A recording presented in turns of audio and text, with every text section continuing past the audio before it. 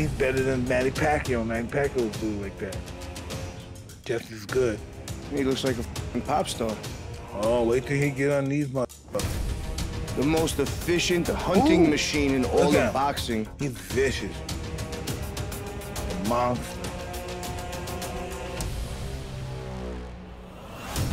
Terence Crawford is the undisputed number one in the pound for pound rankings, and rightfully so. However, in the coming months, absolute monster from Japan, Naoya Inoue, might give him a run for his money. Right now, Inoue is vying for the title of the strongest boxer regardless of weight division, just like Crawford. Inoue is on the brink of becoming a two-division world champion and for over 10 years he has been building his path to the top through the knockouts of his opponents. Friends, today's video will be dedicated to the top 5 fights in Naoya Inoue's career. Please don't forget to like and leave a comment with forwards and also subscribe to never miss new videos. And we're starting, let's go! Number 5. Omar Narvaez Japanese fighters are natural born warriors willing to make any sacrifice for victory. It's no wonder that they often become exceptional athletes, including impressive boxers. Despite this, there have always been very few widely recognizable Japanese boxers, but Kai Butsu was called from the depths to change that. Naoya's future champion upbringing was always overseen by his father, who guided him through a successful amateur career before turning professional. The young prospect's first fight took place in 2012 and he knocked out his opponent in the fourth round. A knockout victory in his debut might not seem extraordinary at first glance, but this finish was just one of many to come. Over the next two years, he secured seven victories, six of them by knockout, competing in the light fly division. Inoue displayed unimaginable power for his weight class, but he had no intention of lingering there.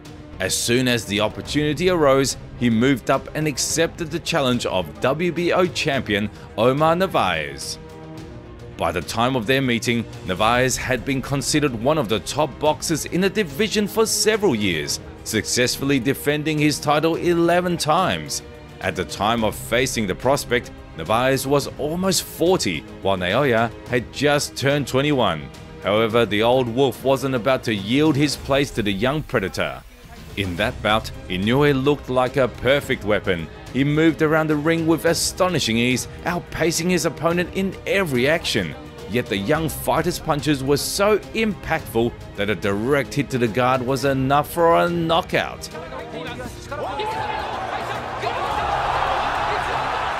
When the referee approached Narvaez, it was clear that he was in complete shock. He seemed to not even understand why he fell. Meanwhile, Inoue continued his relentless pressure and knocked down his opponent again, this time with a hook.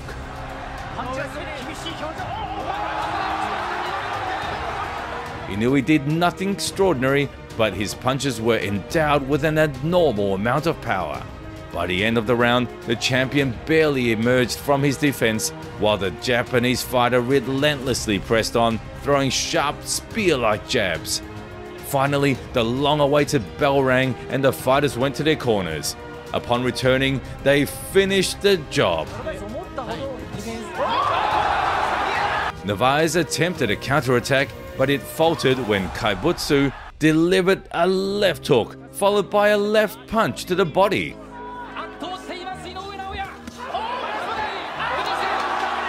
After enduring three knockouts from headshots, Omar couldn't bear the excruciating pain and was defeated.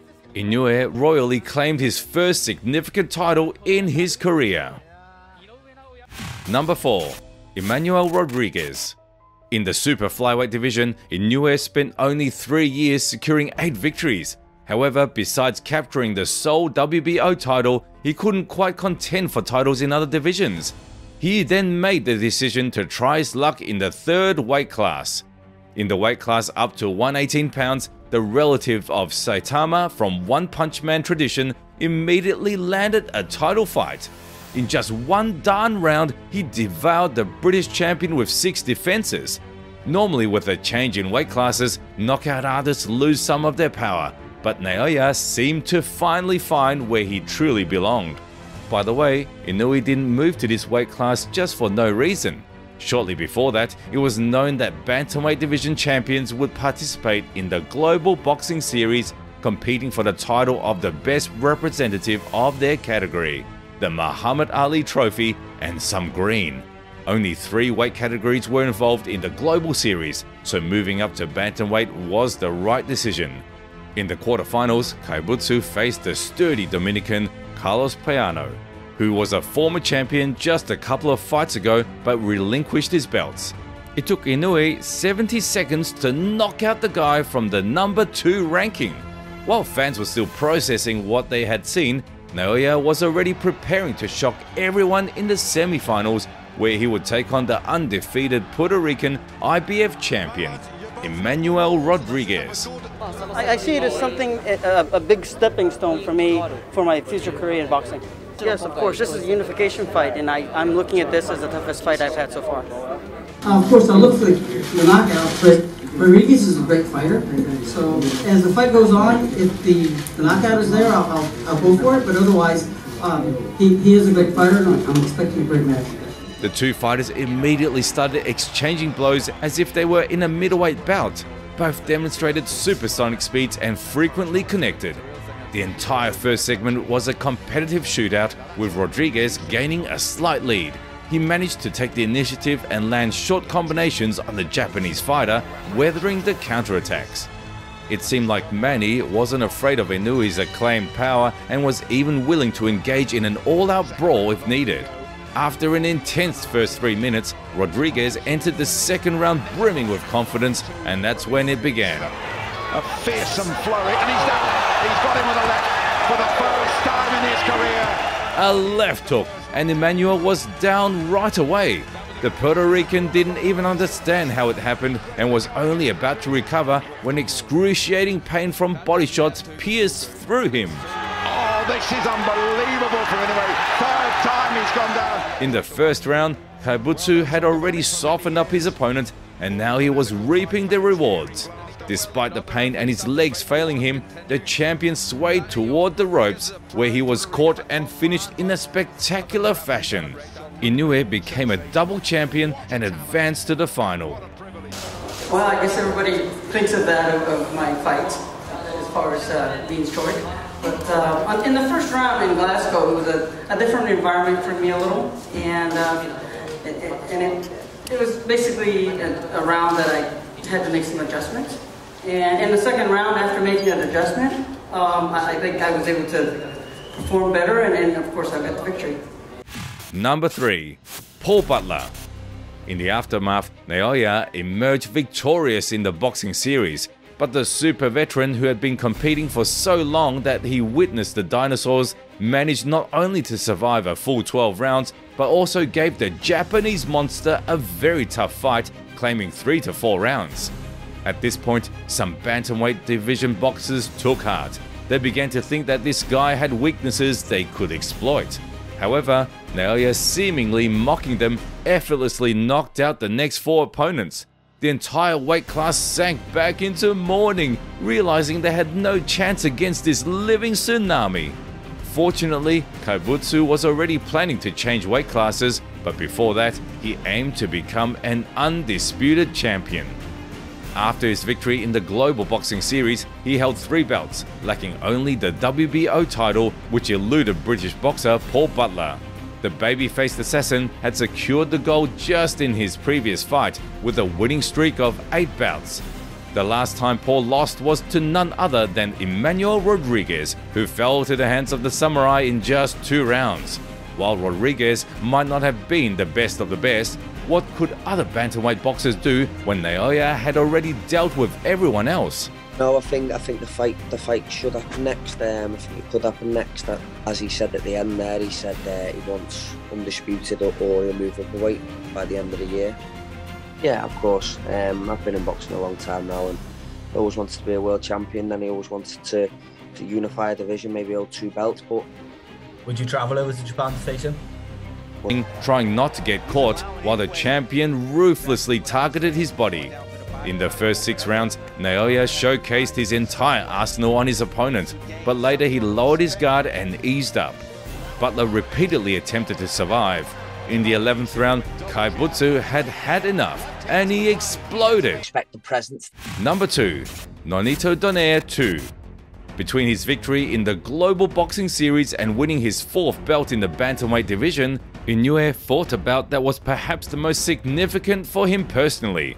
I previously mentioned that during the pinnacle of his stardom in the Global Series, Naoya clashed with the rugged veteran Nonito Donaire and took a significant beating. However, I intentionally omitted that they would soon have a crucial rematch. Three years had passed since their first encounter, during which many events occurred, including the coronavirus pandemic, which hindered boxers from competing frequently. The second match between the two was originally planned to be held earlier, as there was intrigue, but the virus once again disrupted their plans.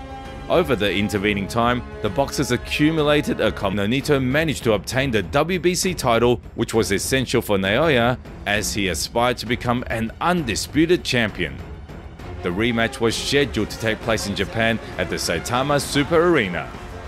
Now I think it's very exciting uh, because I know the guy in front of me is a tremendous fighter, so it's very fun. Last time I had so much fun in the fight, and we're gonna have a lot of fun this fight.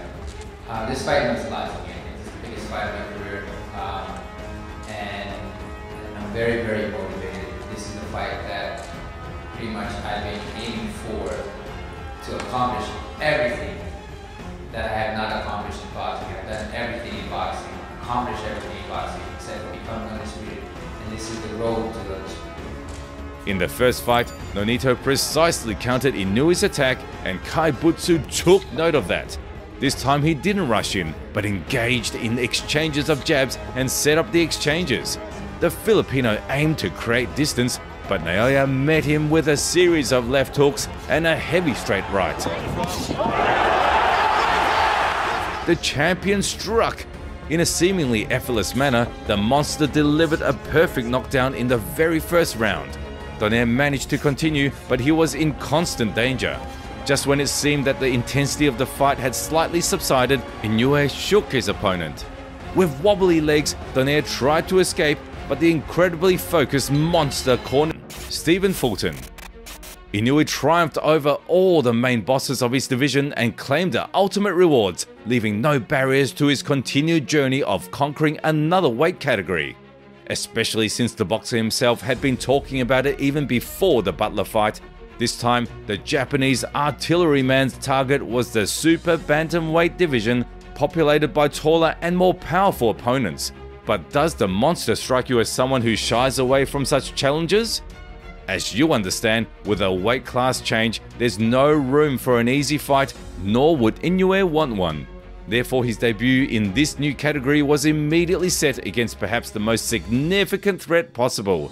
Stephen Fulton, the towering American, held a record of 21 0 along with the WBC and WBO titles, making a fight with him a shortcut to a new undisputed championship. Yes, with this move to the new weight class, Naoya was planning to capture all four titles right there. If it weren't for Crawford moving up shortly after this, Inoue would have become the first to achieve this feat in the era of four belts. However, Bud outdid himself and now Inoue can only be the second. Prior to the bout, Fulton's team heavily emphasized how Inoue tapes his hands. They insisted that he do it the way it's done in the USA, and as a result, Naoya slightly altered his usual hand wrapping. It all seemed as though Cool Guy Steve's team was already seeking justification in case of his defeat. That's why I say I'm an all-around fighter. Like when and, and like in basketball, you have you have the athletic build, you have score slasher, or you have all around. I'm all around. He's more so the athletic build, far as the for the known for the knockouts.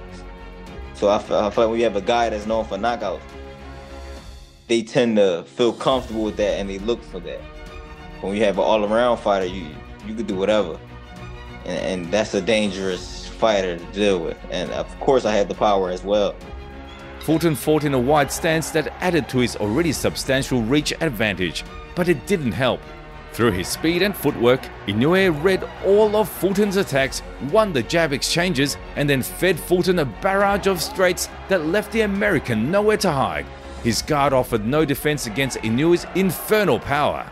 In the 8th round, the Japanese fighter landed a virtuistic 1-2 that went through Fulton's guard and deceived him, resulting in a knockdown.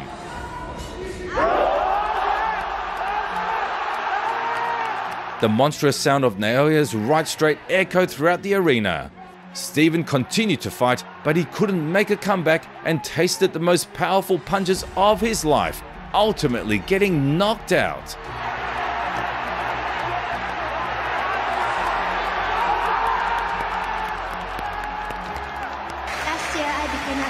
An undisputed champion, and returned all the belts and become a super bantamweight. Everything I was thinking about, all in mind, was to fight against him in this year. However, unfortunately, I got injury and I had to postpone this fight. I am sorry for my team, my t- and Fulton's team, but thank you so much for accepting this fight once again, and I'm so happy right now. Right now, Inoue stands as one of the best boxers in the world. He possesses everything and more to be deemed a perfect champion, and for now, time is not his master. I believe that within the next year or two, he can become an undisputed champion in the super bantamweight division because currently I don't see a boxer who could be given better odds against Inoue than himself. It's all heading toward the inevitable that only time will defeat the great monster. What are your thoughts on this? Who do you think could defeat Naoya Inoue right now? Share your opinions in the comments.